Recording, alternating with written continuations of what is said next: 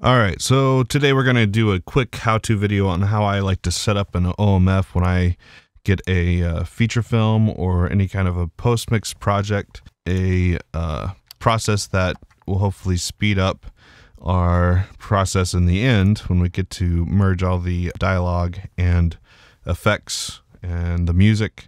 Um, this is just a mic for me to record and then also my master channel here. I also have a um, the Nugen VLM um, LKFS meter. Um, this is going to give me kind of a broadcast standard on how loud to mix the dialogue. Um, most of the time, I'm going to be shooting for around negative 24. I like to do this for the whole whole thing. Start with everything kind of at a at a normalized volume, and then from there can uh, put in some fader moves and some dynamic changes from there. The first thing I'm going to do is uh, actually create an aux track. So you can either do that from the track window here, or in Pro Tools, you can also hit Control or Apple Shift N. That'll give you a new um, dialog here. Go to stereo. We're going to make an aux track. So this is to set up our our um, RX4, iZotope RX4, RX5 same process. We're going to go from RX4 back into Pro Tools and vice versa. Send stuff from Pro Tools into RX4. I'm just going to call this RX return. And then in Audio Suite up here, we're going to actually hit noise reduction and connect. All right, so this is going to be basically our send and render.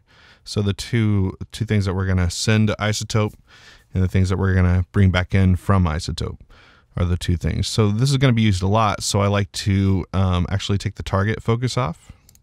So if you click that little red button, that's actually going to keep this docked. Even if you open up a different plugin, it's not going to close it. At this point, the client will have their movie edited and sorted through. So they'll have sent me either an AAF or an OMF file both of which can be imported into Pro Tools, preserving their track list. Um, and I'm going to import that into Pro Tools and start sorting through that and getting the dialogue, uh, the effects and stuff uh, sorted out so that I can um, start the post mix process. So I'm going to go to the folder that they sent me. This one's actually in Reels, so kind of nice. It's kind of a section of the movie. So first I'm just going to grab this OMF and I can uh, I can check out the text log and kind of see if there's any start time is 000, frame rate is 23976. So I'm going to go into my settings here and just uh, look at my session setup and just double check to make sure that my time code rate is going to be um, the same. So we're good there. I'm going to go in here and just grab this OMF file. There's multiple ways you can do this. You can either drop it directly into the session here, or you can drop, drop it into the track list over here. Uh, we'll just do that. Okay, this is giving me a warning that it's earlier than the current time. That's okay. A few options I want to look at here. Um, so normally what I'll do is not import the clip gain or the volume automation um, for this first pass. Um, it really depends on the editor. If they've done a ton of editing and mixing, sometimes I'll import uh, an OMF that has the volume automation that they've written in already.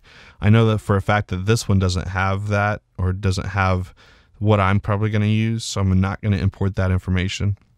Um, I want to make sure all these tracks are highlighted because I want to import all of them. Looks like we got quite a few. And then the track data to import, I like to unclick a couple things here. I like to unclick the pan automation and setting and the mute automation and setting. The pan automation is something that could have been transferred from, like, say, if they had accidentally panned something left or right, or if they have a stereo file, since OMFs don't actually import stereo files, um, sometimes those will be mono files that are written left and right. So I like to take out that information so I can just drop it into a stereo track for myself. Okay, so this is where it was saying that it starts earlier. So in Premiere Pro and the, the video editors, they all start at zero zero zero. For Pro Tools, it always starts at one or one hour. So that's where that difference is happening. So let's go ahead and push OK.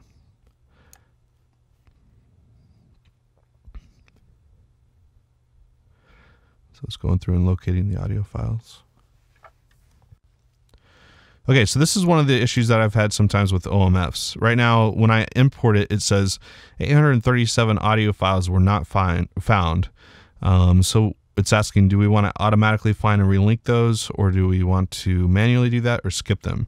I want to go to manually. So basically, what I'm going to do is open this, uh, hit manually. This will open the relink um, window. And I'm going to come into where that movie OMF is, and that's on this drive in Reel 2. So I know it's in here. And it's probably in this file. So I'm just going to click that. It's telling it where um, Pro Tools is going to look. So now I have to select all the files that I want to try and relink. So all those are selected. These are the ones that, that you have information, but they can't find the actual audio file. I'm going to select those and hit Find Links. Now here's the important step on this is um, in order for this to find it, you kind of have to make it less specific. So I'm going to take off match duration and then I'm going to go find my name. I'm going to hit OK and it's going to search that folder. All right, so it searched and it see these little link buttons. Um, it found candidates for those all those files. And at this point, I'm just going to hit commit links. Yes. So we can kind of see what Pro Tools is doing is calculating waveform overviews. What that means is it's basically going through and writing these, measuring the amplitude of the waves and writing those into these um, overviews.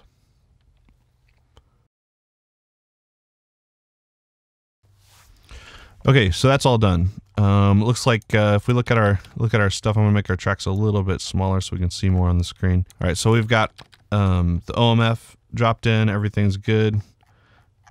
Everything's connected. Um, so what I'm to do now is actually bring in our video. So I'm to go to that same folder, um, get our movie. So to import that, I'm just to do the same thing with as I did with the OMF. I'm just to grab that video file, drop it into the track list. At this point, it's going to ask me if I want that to, where that needs to go. I want it to be the session start, and I want to import the audio. All right, now it's going to ask me where to put that audio file, and we'll just use the, the default audio file for that. Cool. So it processed that audio, dropped it into a stereo track for me, and it's all up here. This is going to be showing frames, which is cool, um, but this eats up a lot of processing. So the main thing you want to do is, first of all, just change this over to from frames to blocks. So what that's going to do is take all those frames out. It's not going to have to process every single zoom that you do. That's going to free up a lot of system resources. So now we just got that main video track here, and you can kind of see um, that video rock in there. Okay, so the first thing I want to do is make sure that um, the video and the OMF are synced up. A lot of times I'll get, um, if it, like on this one, it doesn't have a two pop at the beginning. So I need to listen to these together to kind of see, um, to make sure that these are the audio and the audio from the video, the master video and the audio from the OMF are, are synced. Okay, so I'm going to solo that. And I'm just going to solo one of these, uh, one of these other audio files to see what it sounds like. Why did you and Daddy split up? I mean, uh, I know that it was another woman, but was it symptom, not a problem? I found your father's girlfriend to be a problem. So actually, it sounds right symptom, on. So that's good. I found your father's girlfriend. So I can drag up. Uh, see that this one has some waveforms. I'm going to drag this up right next to this guy. Zoom in. A uh, cool way to zoom in these is if you hit Option Shift and then scroll wheel on the Mac or Alt Shift scroll wheel on the PC. So I'm to zoom way in here.